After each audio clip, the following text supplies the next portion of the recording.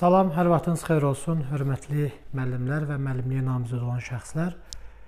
Videolarımızla davam eləyirik. Bu günlərim sizə mən nəzəriyyələr haqqında məlumat verəcəm. Növbəti nəzəriyyəmiz isə Kolbergin əxlaqi inkişaf nəzəriyyəsi və ya mənəvi inkişaf nəzəriyyəsidir.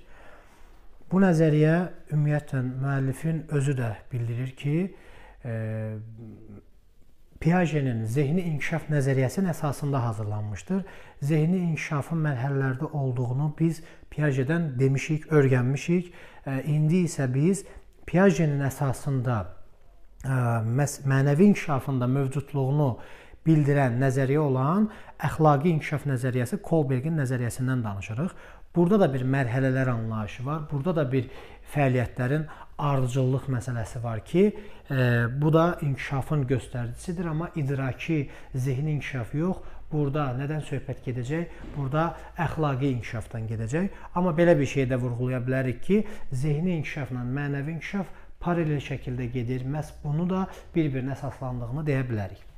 Demək ki, Kolbergin Kolberg Loris Kolbergin mənəvi inkişaf nəzəriyyəsidir. Kolbergin mənəvi inkişaf nəzəriyyəsinin birinci əsas nələrini deyəcəyik? Səviyyələrini, səviyyələri 3 səviyyəsi olacaq. Bir də onlara müvafiq mərhələləri vardır. Demək ki, səviyyələr var, bir də mərhələlər var. Səviyyələr 3 dənədir. Bunlar hansılardır? Birinci səviyyəmiz prekonvensional, prekonvensional. İkinci konvensional, üçüncü isə post e, konvensional. Demək ki, Piaget-də neçə mərhələ mövcuddur? Neçə səviyyə mövcuddur? 3 səviyyə mövcuddur. Prekonvensional. Prekonvensionalda bunu qeyd edə bilərsiniz. Burada əxlaq öncəsi öncəsi bu əxlaqi dövrdür. Bu isə əxlaq sonrası Demək ki, əxlaq öncəsi prekonvensional oldu, əxlaq dövrü konvensional oldu, postkonvensionalda isə əxlaq sonrası dövr nəzərdə tutulur. Yəni, birinci səviyyədə şagirdlər əxlaqi dəyərlər formalaşmır şagirdin etdiyi hərəkətlər, etdiyi atdığı addımlar qarşılaşacağı nəticəyə görə müəyyənləşir. Yəni mən görsəm ki, burada mənim mənfəətim var, eləyərəm. Görürsüz, qarşılaşacağım nəticəyə görə addım atdım. Və yaxud da ki, görsəm ki, burada mən cəza alacağam, bunu eləməyəcəm. Niyə görürəm ki, bu qarşılaşdığım nəticə necə bir nəticədir? Ona görə addım atıram. Demək ki, bu əxlaqi dövr hesab olunur, əxlaq öncəsi dövr hesab olunur. Danışacağıq əvvəlcə, gəlin biz sizlə bunun mərhələlərindən danışaq. Hər bir səviyyə ayrıca mərhələyə bölünür. Yəni məhz burada prekonvensionalın özünün mərhələləri var, e, eyni zamanda konvensionalın özünün mərhələləri var, bir də postkonvensionalın özünün mərhələləri var. Prekonvensionalın mərhələləri itaət və cəzadır. İkinci individualizm və yaxud da şəxsi maraq. Sonra üçüncü, bu artıq üçüncü mərhələ nəyə söykənir? Söykənir konvensionala. Burada qəbul olunma, qəbul olunmadır. Dördüncü səviyyə, e, konvensional səviyyənin dördüncü mərhələsi olacaq səlahiyyət və sosial nizamı qoruma. Sosial nizamı qorumadır. 5-ci mərhələmiz olacaq sosial ə, e, müqavilə və ya razılıq, razılıq Yəni müqaviləni razılığa görə yazdım. Sosial razılıq da deyə bilərik. 6-cı isə universal etik prinsiplər. Demək ki, gördüyümüz burada 6 mərhələmiz var. Bu 6 mərhələ hardan qaynaqlanır? 3 səviyyədən qaynaqlanır. 3 e, səviyyənin hər biri özlüyündə 2 mərhələni formalaşdırdığına görə toplam ümumilikdə 6 mərhələnin olduğunu deyirik. Toplam 6 mərhələdir. Amma bəzən soruşur ki, bu birinci səviyyənin hansı mərhələsidir? Bu ikinci səviyyənin hansı mərhələsidir? Və suallar sizə iki tipdə düşə bilər. Bunlar e, hansılardır? Ola bilər sizdən ümumi səviyyəni soruşsun, situasiyanı sizə təqdim eləsin və səviyyəni soruşsun. Ola da bilər ki, situasiyanı sizə versin, sizdən mərhələni soruşsun. Belə də ola bilər. Yəni mərhələni də soruşması tək-tək ola bilər. Situasiyanı ümumi də soruşa bilər. Və buna diqqətli olun. O zaman siz əgər prekonvensionalı sizdən soruşursa, demək ki, siz itaət və cəzadan və yaxud individualizmindən hər hansısa bir ifadəni və yaxud situasiyanı və ya cümləni rahat şəkildə siz bura aid edə bilərsiniz. Niyə görə? Çünki itaət və cəza ilə individualizm zaten prekonvensionalın mərhələləridir və ya digərləri də onun kimi hesab oluna bilər. Suallar bu tipdə gəlir. Bir də ki, kitabı oxuyanda da, materialı oxuyanda da görəcəksiniz ki, prekonvensionalın, konvensionalın, postkonvensionalın ümumi şərhi, yəni izahı var. Sonra isə başlayır hər birini ayrı-ayrılıqda izah eləməyə. Yəni prekonvensionalda verilən ümumi bir cümlə nəticə etibarilə itaət və cəza və individualizmə də aiddir. Və yaxud da konvensionalda verilən ümumi bir cümlə qəbul olunma və səlahiyyət sosial nizamı qorumaya da aiddir və ya postkonvensionaldakı ümumi cümlə sosial müqavilə və ya etik prinsiplərə də aid olacaq. İndi burada gəlin sizlə yavaş-yavaş başlayaq situasiyalar deyək və bu situasiyaları biz mərhələlərə uyğunlaşdırmağa çalışaq. Əvvəla mən bura bir şey yazmaq istəyirəm. Bu iki, yəni itaət və cəza ilə individualizmdə bir mən anlayışının olduğunu demək istəyirəm. Bu 3-4-cü mərhələdə isə bir e, cəmiyyət anlayışı, yəni sosial qrup, yəni ətraf anlayışını demək istəyirəm ki, bu məhz konvensional səviyyədə özünü göstərir. Başlayaq e, əziz müəllimlər izahımıza, ə, e, yəni bu hissədən itaət və cəza. İtaət və cəza prekonvensional səviyyədə baş verir. Bu prekonvensional səviyyənin də bayaqlarım mən vurğuladığım kimi burada şagirdin etdiyi hərəkət qarşılaşacağı nəticəyə görədir. Atdığı addım buna görədir. Yəni əgər prekonvensional səviyyədəki şagird e, nəticəyə görə addım atırsa, demək ki, itaət və cəzada da qarşılaşdığı bir nəticə var. Yəni həm də buna nə yazmışıq? Əxlaq öncəsi dövr. Yəni bu adam burada əxlaqi dəyərlərə sahib deyildir. Bu adamın etdiyi fəaliyyət qarşılaşdığı nəticəyə görə olacaq. Görək bu nəticə itaət və cəzada nədir? Bu adam məsəl üçün qaydalara əməl etməyi özü üçün vacib hesab eləyir, amma niyə? Qaydalar alidir deyə yox. Qorxduğuna görə. Yəni qaydalara əməl etməsəm məni nə gözləyir? Cəza gözləyir. O cəzanı almamaqdan ötürü mən qaydalara əməl eləyirəm. Bu düşüncə hansına aiddir? İtaət və cəzaya. Demək ki, itaət və cəzada olan yanaşma nədən ibarət oldu? Ondan ibarət oldu ki, şagird etdiyi qaydaya, e, daha doğrusu etdiyi hərəkəti və yaxud da qaydanı niyə görə eləyir? Qaydaya niyə görə əməl eləyir? Sırf cəza almamaqdan ötürü. Ona görə bu cümləni xüsusi qeyd eləyin. Qaydaları qeyd qeyd şərtsiz qəbul eləyirlər. Qaydalar onlar üçün heç vaxt, yəni pozulmamalıdır. Bu fikri görürsünüzsə itaət və cəza götürəcəksiniz. Yox, qaydalara ali hesab eləyir. Qaydalara lazımdır, cəmiyyətə lazımdır. Bunu düşünürsə, bu başqa yanaşmadır. Yəni bu itaət və cəza deyil. İtaət və cəzada qaydalar dəyişməz qəbul eləyir. E, itaət və cəzada qaydaları qeyd şərtsiz qəbul eləyir. İtaət və cəzada qaydaya ona görə əməl eləyir ki, sırf cəza almasın. Nümunə, məsəl üçün uşaqlara müəllim e, summativ qiymətləndirmə işlədir və uşaqlara bildirib ki, bir-birinizdən köçürmək olmaz. Amma uşaqlardan biri köçürdür və müəllimi görən kimi tez özünü düzəldir ki, müəllim görməsin.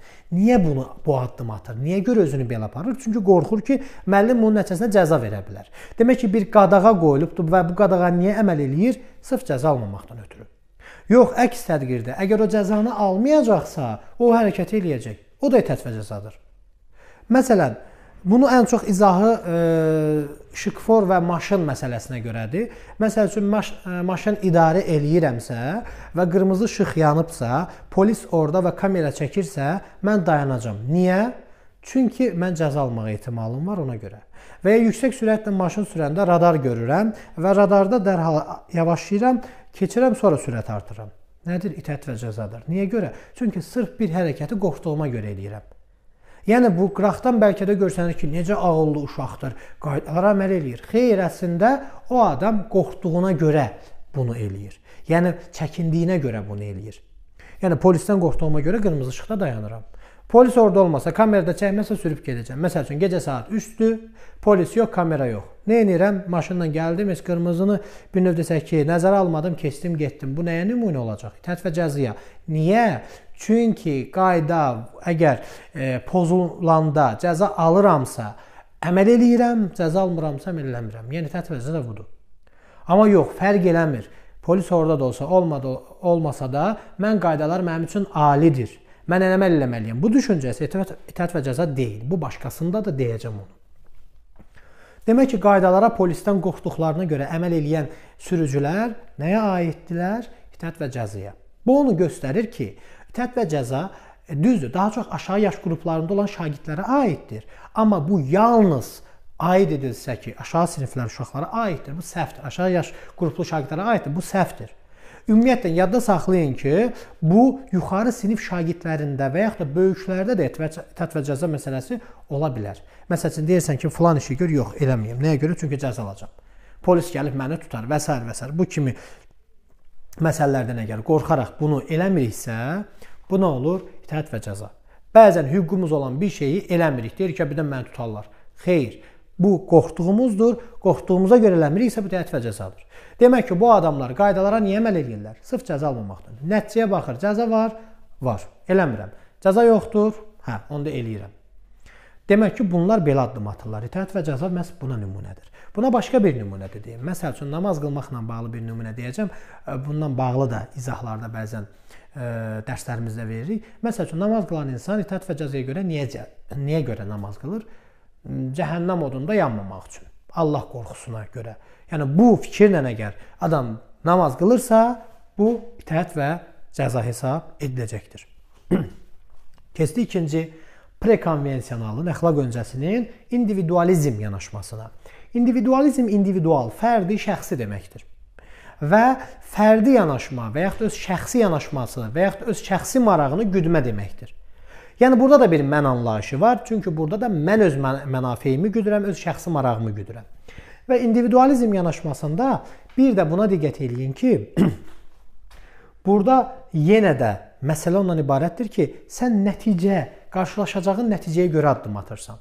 Qarşılaşacağın nəticə əgər sənin mənfəətini güdürsə, eləyəcəksən. Güdmürsə eləməyəcəksən. Məsələn, tutalım ki, bir e, vasitəçi düşünək, el arasında makler deyək. O adam bir sən evini satmalıdır. Təbii ki, səndən nə istəyir? Deyir ki, mənim çıxarım bu qədərdir. Əgər bunu verirsənsə, mən sənin evini sataram. Görürsüz, o da nəsə bir mənfəət güdməsə, o işi eləməz. Demək ki, öz şəxsi marağını güdmə məsələsi nədədir? İndividualizmdədir. Və yaxud da bir şey eləyərsən, qarşılıq güdərsənsə individualizmdir. Mən sənə bunu eləyirəm, sən də mənə bunu elə. Nə olur? İndividualizmdir. Və yaxud da mən bunu sənin üçün eləmişəm, Hə, nə vaxtsa mən bunu eləmişəm ki, gələcəkdə də mənə nəsə lazım olanda mən eləyim.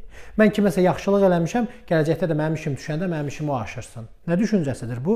Məs aid oldu individualizm yanaşmasına. Başqa bir nümunəni gəlin deyək. İndividualizm yanaşmasında bu məsələ də var ki, məsəl üçün öz doğmanı, öz yaxınını, sənə yaxın olan bir şey üçün nəsə eləyirsənsə, o da individualizmdir. Tutalım ki, iki nəfərdir, biri sənin qohumundur, biri yad adamdır və ikisinin də hüququ bərabərdir orada. Sadəcə olaraq sən də içəridə məsəl üçün hər hansı bir bankdanmı, nədəsən növbədəsən. Gəlirsən deyirsən ki, sən gəl. Öz qohumunu çağırır birinci. Bu nədir? Bu aiddir birbaşa olaraq individualizm. Niyə görə? Şəxsi marağına yaxındırsa onu eləyir. Yəni özünü güdür də bir növ desək. İndi biz bunu Heinz dilemması ilə əlaqələndirəndə də bunu vurğulayacağıq sizə. Demək ki, öz şəxsi marağını güdmə məsələsi varsa nə oldu? Bu oldu individualizm.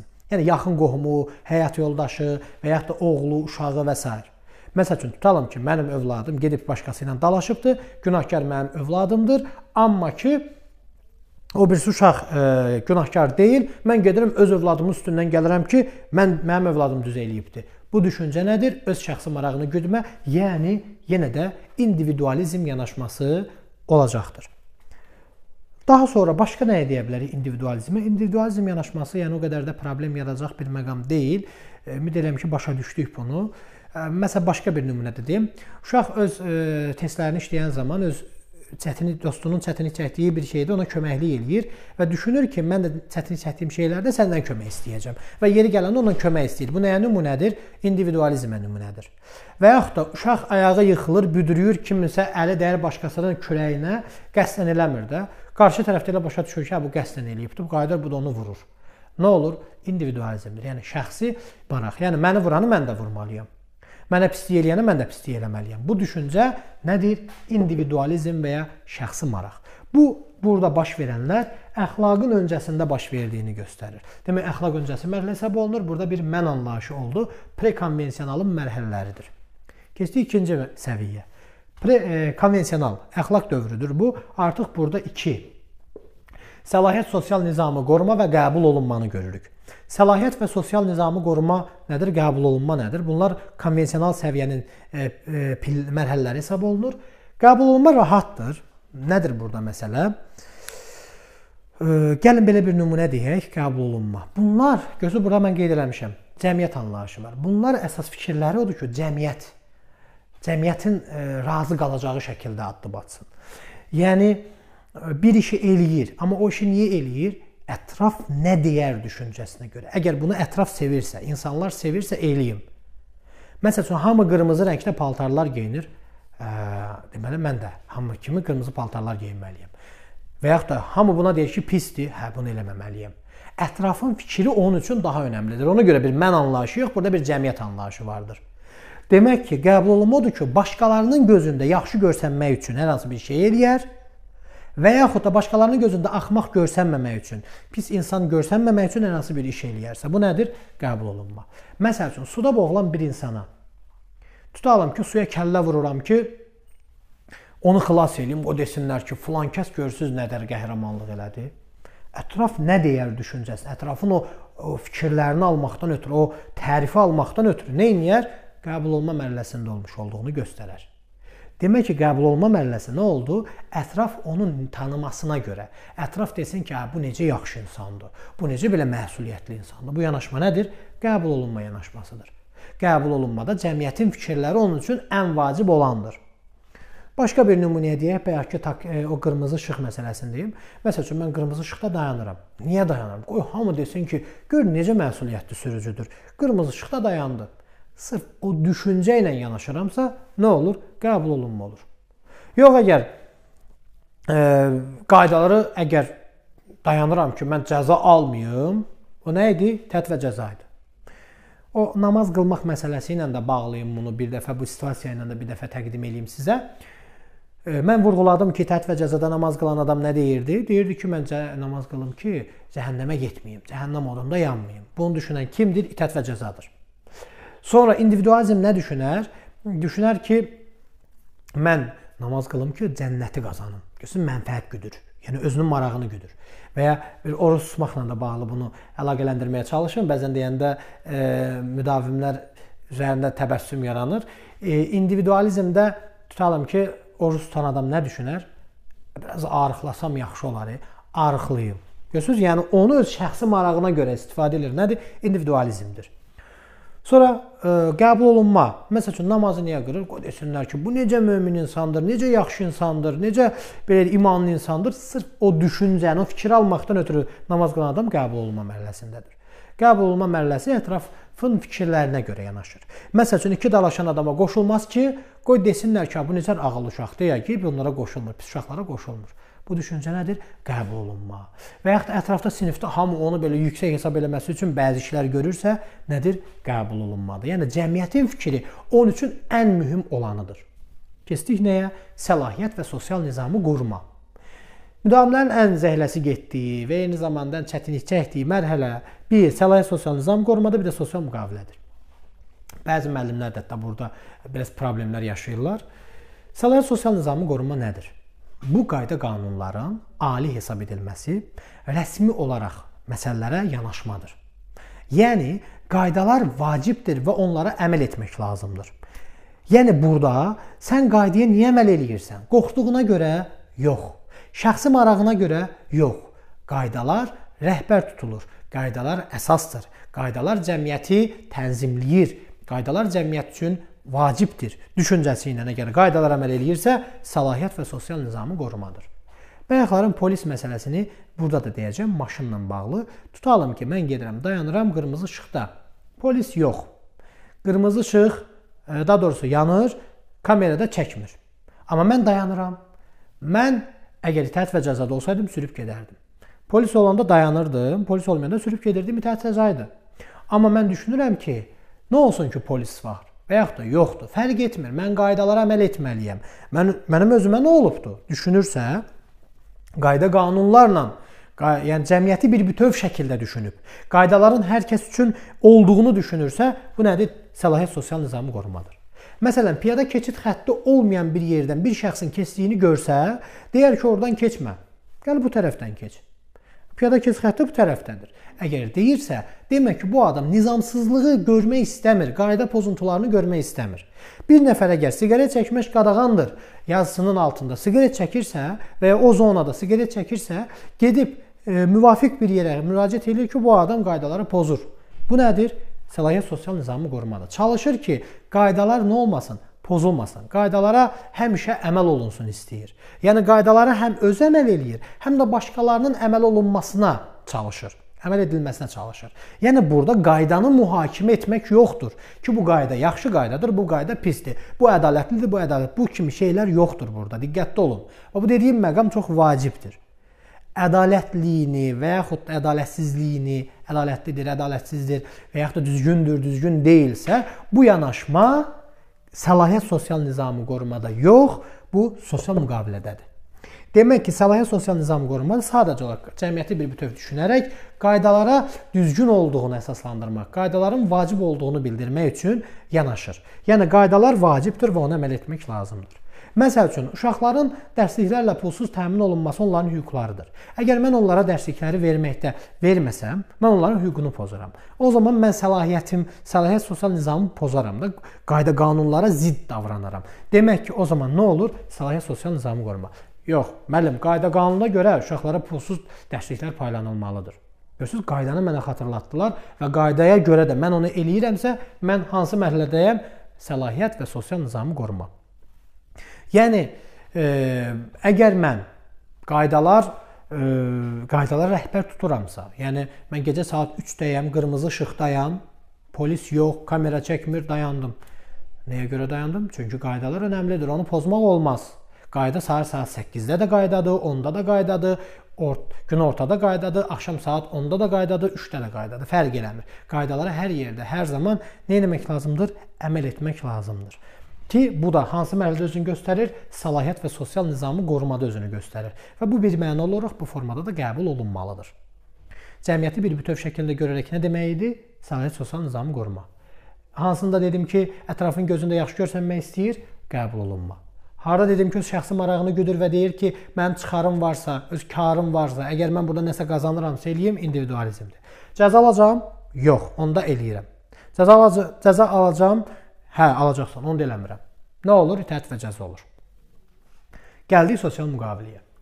Deməli, sosial müqaviləni səlahiyyət sosial nizamı qoruma ilə niyə görə qatırıq? Ona görə qatırıq ki, onun ikisində də nəm anlayışı var da, onun ikisində də qayda qanunlar məsələsi var və qayda qanununa əməl etmə məsələsi var. Ona görə sadəcə sosial müqavilədə bilsiz qayda nədən ibarətdir? Sosial müqavilədə qayda ondan ibarətdir ki, deyilən, yəni əsas şərt budur ki, bu adam qaydaları qəbul eləyir. O zaman qəbul eləyir ki, o ədalətlidir. Ədalətsizsə qaydaları e, belə deyək də qəbul etmir. Əgər qaydalar həyatımızı düzgün tənzimləyə bilirsə qəbul olunandır. Əgər qəbul edə bilmirsə, lazım deyil, at kənara. Buna nümunə olaraq nəyə deyəcəm? Tutalım ki, mənim saat 2-də kurikulum qrupum var, dərsim var. Onlar saat 2-də gəlməlidirlər. Mən də saat 1-də gəlib oturmuşam, onları gözləyirəm və deyirəm qrupa yazıram. Niyə gəlmirsiniz dərsə? Buna deyəcək ki, müəllim, bizim dərsimiz saat 2-dədir axı. Mən də deyirəm ki, necə yəni saat 1-dədir? Mən dəyişmişəm vaxtını. Bəs deməyəcəklərmi ki, müəllim, bəs bizə niyə deməmisiniz? Biz nə bilək ki, saat 1-ə dəyişmisiniz? Deyərdiniz, biz də bilərdik. Demək ki, burada ədalətsiz olan kimdir? Ədalətsiz qərar verən kimdir? Mənəm. Demək ki, o adamları da mənim qaydalarımı, mənim qoyduğum qaydanı mühakimə eləməsi nədir? Sosial müqavilədir. Demək ki, sosial müqavilə qaydaların ədalətli, ədalətsiz olduğunu göstərir. Və qaydalar ədalətli olması üçün cəmiyyət tərəfindən razılaşdırılmalıdır. Mən ona görə müzakirə etməli idim onlarla ki, uşaqlar, mən qaydanı dəyişirəm. Kimlərə uyğundur, kimlərə uyğun deyil. Bunu əgər eləyərdimsə, mən sosial müqavilədə olardım. Əgər mən eləmirəmsə, sosial müqaviləni demək ki, pozuram. Demək yanaşma ondan ibarətdir ki, sosial müqavilə və yaxud da sosial razılıq ona görə belə verilir ki, biz qaydaların cəmiyyət tərəfindən razılaşdırmalıyıq. Məsəl üçün e, qərar veriblər ki, Milli Məclisdə e, maska məsələsi, maska qadağası yenidən qaytarılsın. Mən bu qaydanı görürəm, bu maska məsələsindən xəbərdar oluram ki, hə, demək ki, qaydam, daha doğrusu mən xəbər oldum, amma 5 nəfərin xəbəri yoxdur. Onlardan birini polis saxlayır, deyir ki, maska niyə taxmamısınız? O deyir ki, bəs nə maska? Belə bir şey yoxdur axı. Və xəbəriniz yoxdur. Təbii ki, xəbərim yoxdur. Məndən bir növ desək ki, insanlara məlumatlandırmadan, insanlara məlumat vermədən, insanlardan razılaşdırmadan insanları anidən bu problemin içinə salırlarsa, təbii ki, mən deyəcəm, ədalətsiz qaydadır. Mən niyə cərim eləyirsiniz? Eləməməlisiniz. Mən xəbərim yox idi. Demək ki, bu məsələ nədir? Olacaq sosial müqavilə. Və ya müəllimlərin işə qəbul imtahanının qaydalarının tutalım ki, sətləşdirilməsi ilə bağlı, tutalım ki, səhvin düzə aparması məsələsinə etiraz eləyirik ki, olmasın belə. Əvvəlki qaydada olsun. Səhvlər düzə, düzləri aparmasın. Buna etiraz səsimizi ucaldırıqsa, demək ki, narazıyıq qaydadan. Qaydalar hamı, təkcə mənim üçün yox, e, başqaları da buna narazılıq eləyirsə, demək ki, bir sosial qrup demək ki, razılığı yoxdur buna. Cəmiyyətin razılığı alınmadan addım atılıbdır. Demək ki, sosial müqavilədir bu. Demək ki, qaydalar mühakimə olunursa, qaydalar ədalətli, ədalətsizdir deyə fikir bildirilirsə, qaydalar dəyişməlidir, başqa qayda əvəzlən olursa, sosial müqavilədir. Məsələn, deyirəm ki, Əli ilə Vəli bir sinif yoldaşıdırlar. Əli Vəlidən e, öz qələmini, daha e, bir qələm istəyir. Ki mən dərsin axırında qaytaracağam.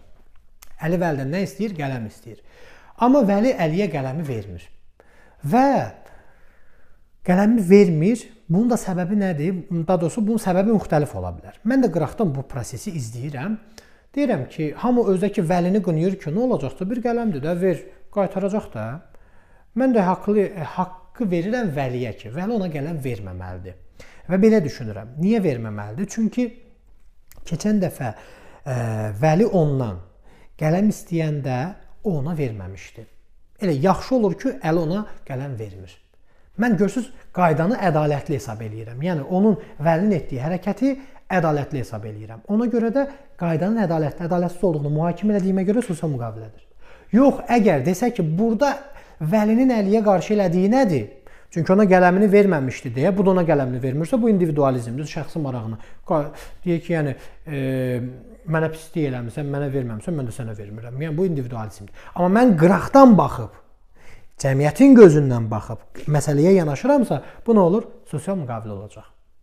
Ümid edirəm ki, bu sosial müqavilə məsələsi aydındır. Sosial müqavilə məsələsi qaydaların ədalətli, ədalətsiz olduğunu e, mühakimə etməkdir. Başqa bir nümunədə deyim, daha sonra keçim o birisinə.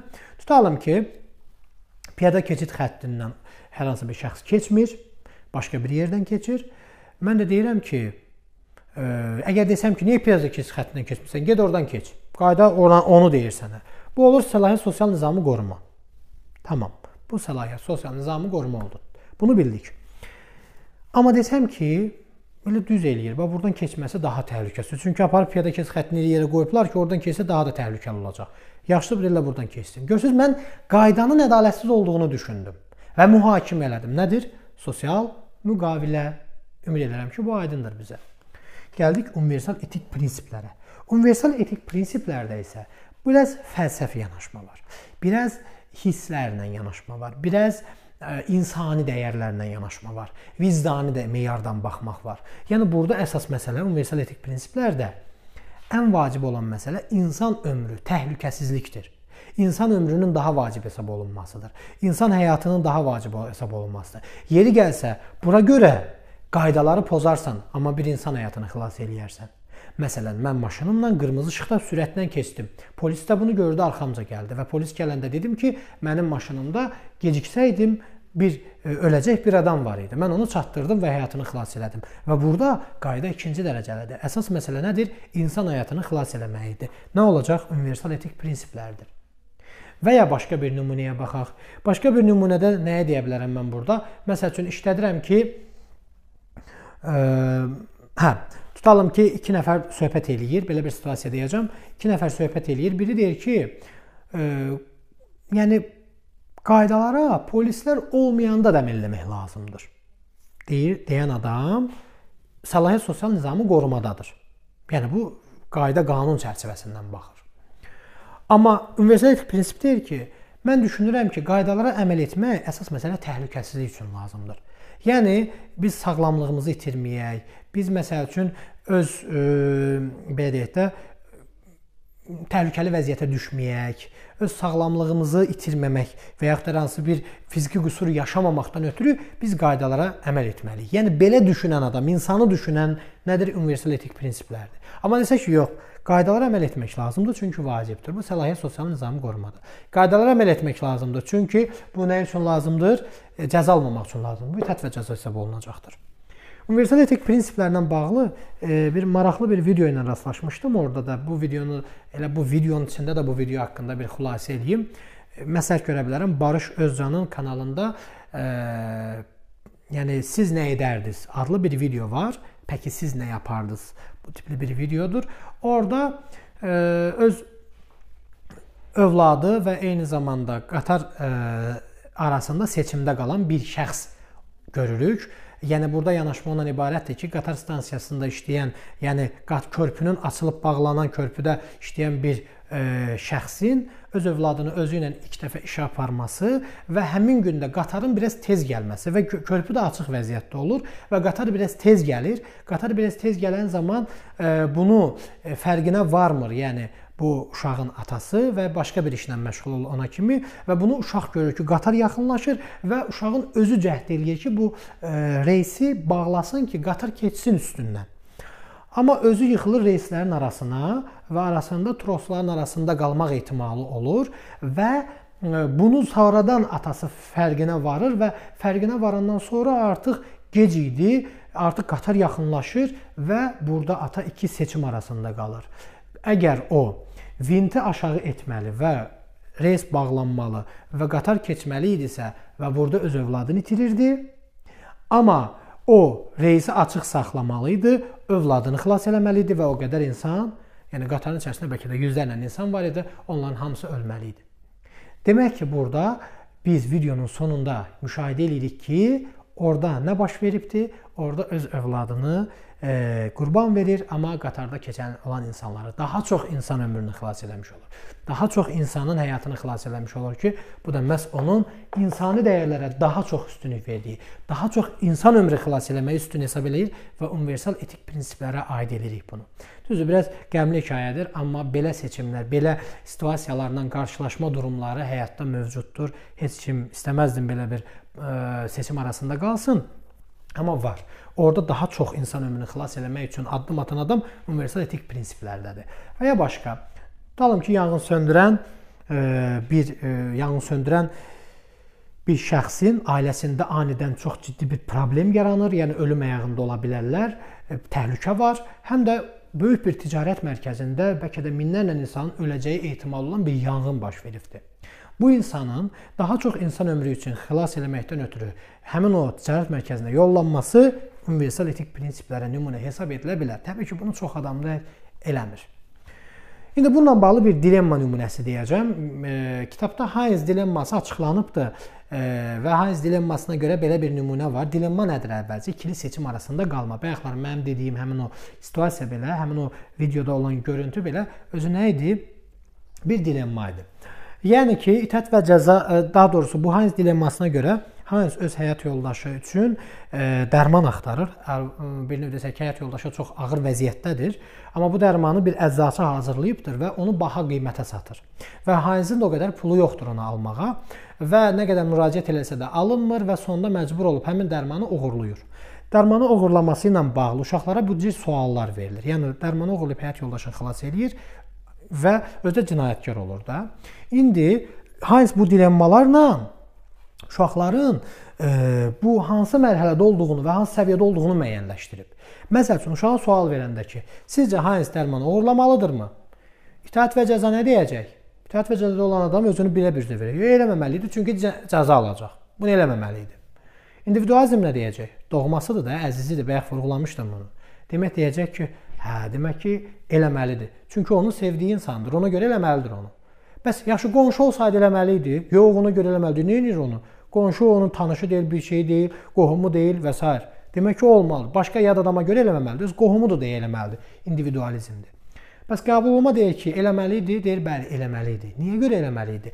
Çünki qoy deyəcəklər ki, falan kəs öz həyat yoldaşı üçün hətta belə gəlsə ağır, oğurluq elədi. Həyatını xilas eləməkdən ötürü. Nədir bu? Qəbul olunmadır. Bəs səlahiyyət sosial nizamını qoru mənə deyəcək. Deyir ki, yox, bunu eləməməli idi. Təbii ki, bu qaydaları rəhbər tutur axı. Deyir bununla bağlı bir səhiyyə idarəsinə, bir nəsə bir təşkilata, bir quruma, nə UNICEF-ə, nə nəsə bir müraciət eləməli idi. Oradan kömək eləməli idilər. Rəsmi yanaşır da hər şeyə. Sosial müqavilə bəs nə deyə bilərdi? Sosial müqavilə deyəcək ki, əgər burada, əgər e, atdığı addımı o özü doğru hesab eləyirsə ki, mən bunu atmaqla düzgün, yəni düzdür, qanunu pozuram, amma bu əslində ədalətlidir Bunu eləyirəmsə, demək ki, bu nədir? Sosial müqavilə. Yəni qaydanın ədalətli, ədalətsiz olduğunu mühakimə eləyir. Amma universal etik prinsiplər bəs nə deyir? Universal etik prinsiplər də deyir ki, biraz fəlsəfi, biraz geniş şərhlər verir də. Deyir ki, ə, əslində Heinzin niyə belə bir addım atdığını başa düşmək olar. Çünki həmin anda insan həyatını xilas etmək hər şeydən üstündür. İnsan həyatı hər şeydən vacibdir. Yeri gəlsə bundan ötürü qanunları pozub, qayda qanunları pozub bunlara qarşı çıxara bilərik. Demək ki, bu adam insan həyatını önəmli hesab etdiyinə görə qaydanı belə pozursa, ona haqq qazandırmaq olar. Düşüncəsi universal etik prinsiplərə aiddir. Bu qədər. Ümid edirəm ki, hər birinizə yardımçı ola bildiyim. E, suallarınız olsa şərh bölməsinə yaza bilərsiniz. Kanala abunə olmağı unutmayın. Hər birinizə təşəkkür edirəm. Sağ olun.